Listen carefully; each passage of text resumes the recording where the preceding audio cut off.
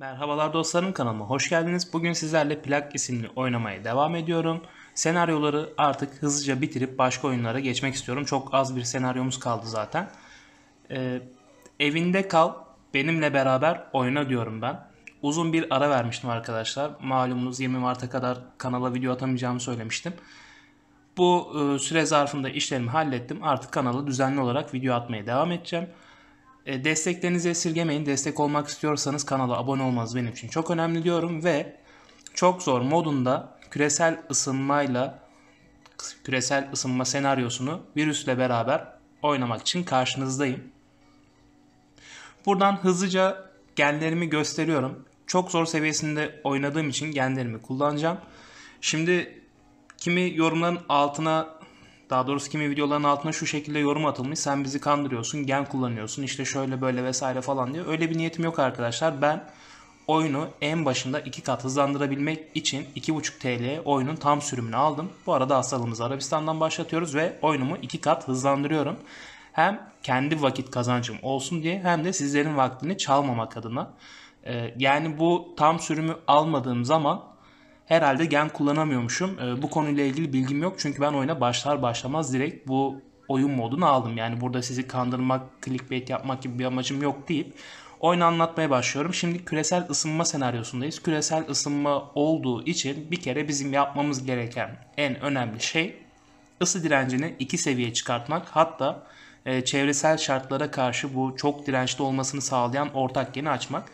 Başlangıçtaki klasik hareketimiz deri lezyonlarına kadar belirtileri açıyoruz.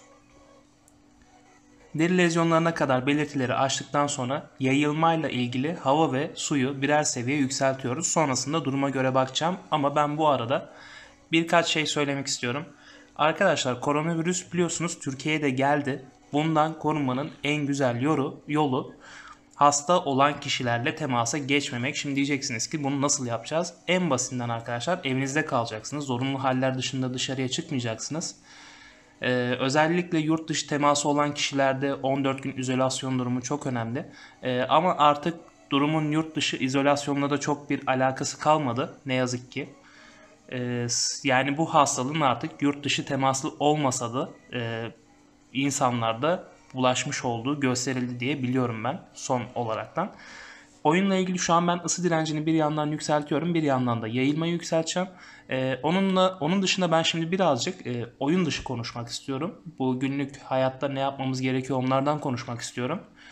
Ee, oyun gerçek olmasın arkadaşlar. Şimdi diyeceksiniz ki oyun gerçek olabilir mi? Tabii ki e, tüm dünyanın kökünün kuruyacağını düşünmüyoruz zaten. E, ama bu arada ölü doku mutasyonu uğradı. Bunu geriye alıyorum çünkü şu an için ölümcül olmasını istemiyorum. Şöyle bir durum var arkadaşlar.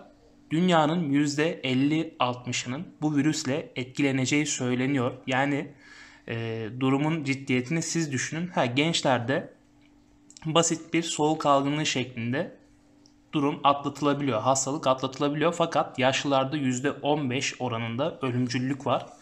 Yani evin içindeki yaşlı bireyler daha da risk altında. Bu ne demek oluyor? Ee, yani siz çıkıp gezebilirsiniz, hatta virüsü kapabilirsiniz, hastalanabilirsiniz. Sizin için sıkıntı olmasa bile anneniz, babanız, işte büyük anneniz, büyük babanız ya da ne bileyim yaşlı bir komşunuz, yaşlı bir başka birisi açısından bu hastalığı bulaştırabilirsiniz. Onları geçtim, onlara bulaştırmadınız deyin. Kendi genç bir arkadaşına bulaştırırsınız, o kendi ailesine bulaştırabilir. Yani bu şekilde bu hassaslık, hassaslık da düşünmek lazım arkadaşlar. Ben hasta olsam ne olur zaten ben hafif atlatacağım dememek lazım. Ha şimdi bir de şöyle bir sıkıntı var. Ee, bizim toplumumuzdaki yaşlı bireylerimiz biraz daha sanırım e, durumun ya bilincinde değil ya da umursamazlar. E, her ne kadar onlar için hastalık tehlikeli olsa da şu an gerekli olarak izolasyon yöntemlerine e, çok uyumuyor. Yani siz de uyarın dedenizi, annenizi, babanızı. Ben annemi her gün arıyorum çıkma diye. E, siz de bunu yapın. Bunun bu şekilde toplum olarak üstesinden geleceğiz, geleceğimizi düşünüyorum ben. E, amacımız bir an önce hastalığı çözmek.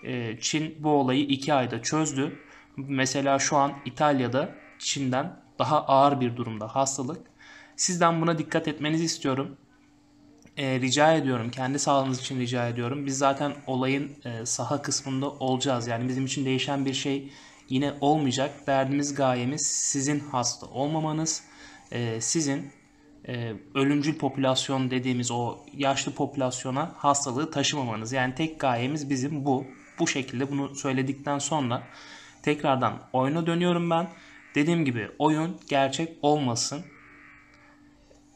Bu oyun gibi böyle çok felaket bir senaryoyla karşılaşmayacağız kesinlikle ama mümkün olan en hafif şekilde atlatmaya çalışacağız arkadaşlar. Bu süreci hep beraber başaracağımızı düşünüyorum ben. Deyip oyuna geri dönüş yapıyorum. Ha bu arada bu konulardan uzak kalmak isteyip de gelip e, videomu izleyen arkadaşlardan da e, özür dilemek istiyorum. Şundan dolayı özür dilemek istiyorum. Aslında özür dilemek de istemiyorum. E, can sıkıcı konular. E, canınızı birazcık sıkmış olabilirim. E, şundan dolayı da özür dilemek istemiyorum. Sonuçta sizin sağlığınız var. Sizin sağlığınızdan ziyade etrafınızdaki kişilerin de sağlık meselesi var. O yüzden durum sadece sizinle ilgili değil. Bunları tekrardan söyleme gereği hissettim ve söyledim.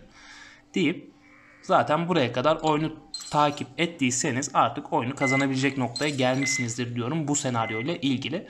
Bu senaryoda yapmamız gereken şey çevresel sertleşme genini açmaktı arkadaşlar. Bu arada çok sert bir şekilde oyuna geçtim. Ee, birazcık can sıkıcı konulardan e, kafamızı uzaklaştırmak da istiyorum.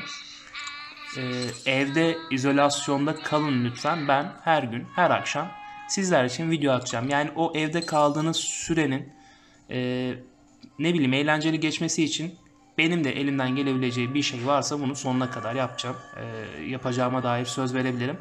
E, benim için 10 kişiyi de 20 kişiyi de evinde tutabilirsem, hastalığın bulaşmasına engel olabilirsem e, çok büyük bir başarı.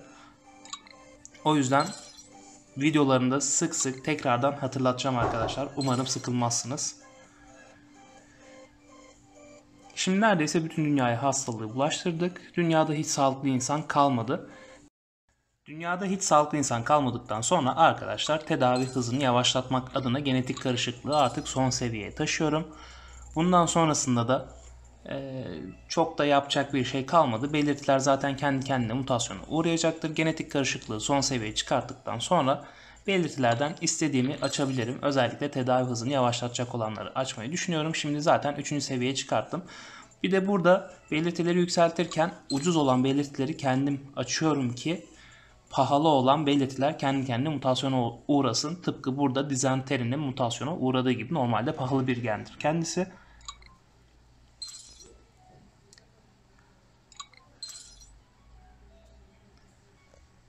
Birazcık da oyunun sesini kısayım. Dışarıya belki fazla geliyor olabilir. Zaten tedavi hızımız %75'i %80'i artık kolay kolay geçmeyecektir. Dünyanın nereden baksanız %90'lık kısmı ölmüş durumda zaten şu an. DNA puanları hızlıca geliyor. Çok da bir önemi yok. Belirtiler kısmından puanımın yettiklerini açabiliyorum açabilirim daha fazla puan kazanmak için. Zaten gördüğünüz gibi bir yandan, bir yandan da belirtiler mutasyona uğramaya devam ediyor. E, demek ki neymiş arkadaşlar sevgili kardeşlerim, dostlarım, abilerim, ablalarım her kim izliyorsa e, lütfen evimizde kalalım. Tanıdığımız insanları işte annemizi, babamızı, mümkün olduğunca evde kalmaya ikna edelim. Zorunlu haller dışında tabii onlara diyecek bir şeyimiz yok. Oyunu tamamlamış bulunduk arkadaşlar. Bir sonraki videoda görüşmek dileğiyle. Kendinize iyi bakın. Sağlıcakla kalın.